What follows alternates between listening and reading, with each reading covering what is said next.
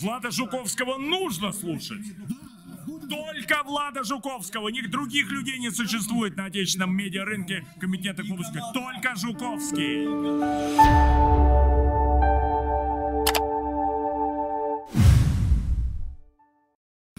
Слушай, ну смотри, мы же давно понимали, что рынки перегреты, мы понимали, что а, с тех хаев, где находится российский фондовый рынок, да и глобальный рынок, должна быть коррекция, да? Глобальной коррекции до сих пор не было, то есть то, что произошло там за последние пару месяцев, это а, падение на 4-5% назвать каким-то обрушением, что более даже коррекции невозможно. Российский рынок падает, российский рынок падает очень красиво, и, э, значит, э, упав на практически на 30% и пробив рубеж 3500 и 1400 пунктов по тому же МВБ, э, мы понимаем, что это на самом деле, возможно, еще далеко не предел, не конец. Я думаю, что мы легко можем видеть и 3100 пунктов по МВБ, вполне себе как цель движения такая первая. Ну, а в случае, если ситуация затянется, если мы увидим э, внезапно падение нефти там ниже 70 долларов, хотя бы 65 долларов за бочку, да, если будет обострение на границе с Украиной, если будут э, персональные санкции против президента, против окружения Путина, против высокопоставленных чиновников, да, госкомпаний э, с риском заморозки активов олигархов, то действительно тогда мы можем увидеть рубль далеко там не 80, не 82 рубля там за 100 рублей, да, и российский рынок ниже 2,5 тысяч пунктов по МВБ. Но опять-таки повторюсь, пока этот сценарий далеко не является главным, я думаю, что, э, скажем так, это один из вариантов, э, весьма такой негативно-апокалиптический, далеко не самый страшный, кстати говоря.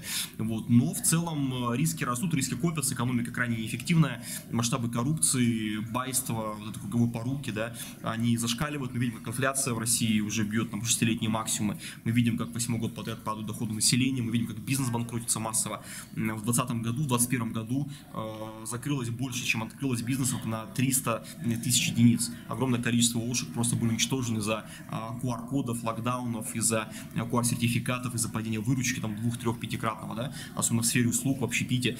Поэтому, конечно, я здесь не вижу какого-то э, оптимизма такого фундаментального, глобального. Но при этом, конечно, есть компании, которые отчитываются о рекордных прибылях. Посмотрите на наших металлургов, Норникель, Русский алюминий, ММК, Так, ты, НЛК. это, это что, инвестиционная рекомендация пошла? А, не, мы не в курсе Купить? никого. Нет, Я- я готов. Мы, как говорится, здесь не в доле. Да, нет, я говорю о том, что а, пока в целом те, кто работают на внутренний рынок, работают на платежеспособный спрос, который сжимается, а, уходят с рынка, банкротятся, либо оптимизируются, как могут, да, сокращая издержки. В то же самое время в России нет формального кризиса. Профицит бюджета за а, 11 месяцев 2 триллиона 300 миллиардов рублей. То есть доходы больше То есть растут. пока можно покупать на падение акций? А, если мы говорим конкретно про акции, я думаю, что...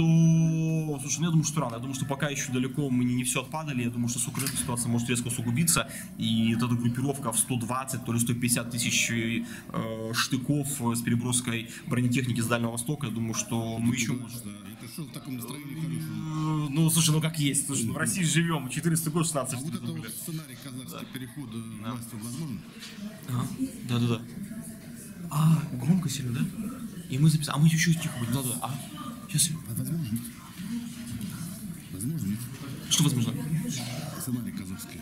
В России, я думаю, неизбежен. Я думаю, что неизбежен, и как елбасизм рухнул, так я думаю, что в России а, вот это вот сакральное феодальное царство, оно тоже по этому пути пойдет, и национальные лидеры, духовные лидеры отцы нации, а, которые движутся на такой клановой олигархической структуре, конечно, я думаю, ситуация шатнется. Кстати говоря, думаю, что в администрации президента, по моим данным, по моим источникам, уже сделаны выводы. В России не будет этого транзита мирного с уходом президента в Госсовет, в какой-нибудь национальные лидеры, не будет попытки передать какому-то ближнему окружению. Я думаю, что выводы сделаны такие, что нужно зацементировать такой прям царизм и оставаться до упора, что называется, вот э, на своих постах, потому что э, казах- казах- казахи показали, что э, вот это вот аппетиты олигархии растут, рынок сжимается, пирог сжимается, и все равно начинается вот эта вот борьба крупных кланов, этих баев, беков, биев, там всех остальных.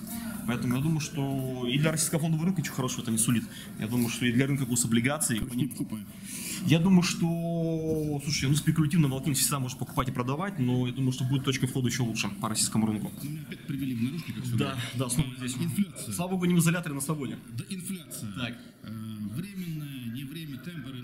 Что делать? И Ну, инфляция – это наш бич, это результат неэффективной, коррумпированной, монополизированной, олигополизированной экономики, это периферийной российской экономики трубы.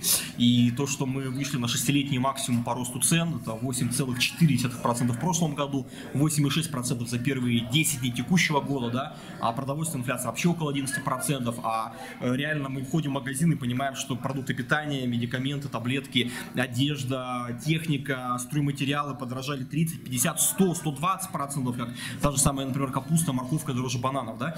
Вот, поэтому это огромная проблема, она показывает, сколько неэффективно государство, потому что когда одно дело инфляция в Германии, во Франции, в Испании, в Португалии, которые импортируют, как Германия, например, там газ, уголь, лес, нефтянку, а, я могу понять, цены глобально выросли в два-три раза, у них все подорожало. Ну мы-то экспортеры, мы должны купаться в деньгах, мы в них купаемся. Захлебывается государство от денег. 2 триллиона 400 миллиардов рублей, профицит, доходы выше расходов у государства в федеральном бюджете, 74 миллиарда долларов, вывоз капитала из страны чисто в 2021 году, это рекордный вывоз за последние 7 лет, да, значит, э, дивидендные выплаты пойдут под 7 триллионов с лишним, корпоративные прибыли, это прежде всего экспортеры сырья, э, те же самые, да, э, 24 триллиона рублей за 10 месяцев, в 3 раза скачок. То есть деньги есть, но деньги не идут на развитие экономики, на рабочие места, на модернизацию, на перевооружение технологическое, не идут на развитие, поэтому просто завышаются цены. А зачем что-то создавать, когда можно за рубеж продать, получить прибыль? Под- А, слушайте, дом, э, обучаться у Влада Жуковского.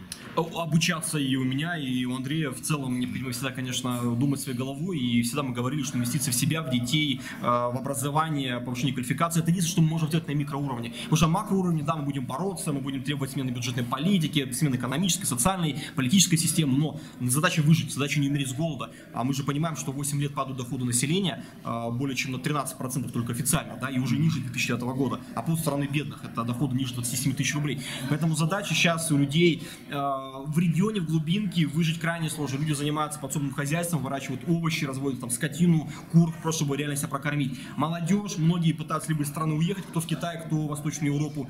А, Если есть возможность откладывать процентов 10-15 от дохода, покупая валюту, либо, ну сейчас на падающем рынке фондовым активы фондовые входить пока еще рано, думаю, будет точка входа более интересна.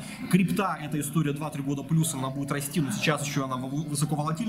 И само собой образование, само собой пытаться э, понимать, что экономика деградирует, и при прежние рабочие места, они исчезают, люди получают там очень низкие зарплаты. Поэтому мы живем в токсичной среде, все против нас, против людей. Поэтому пытаться хоть как-то найти себе какой-то дополнительный источник дохода, кто чем может, да.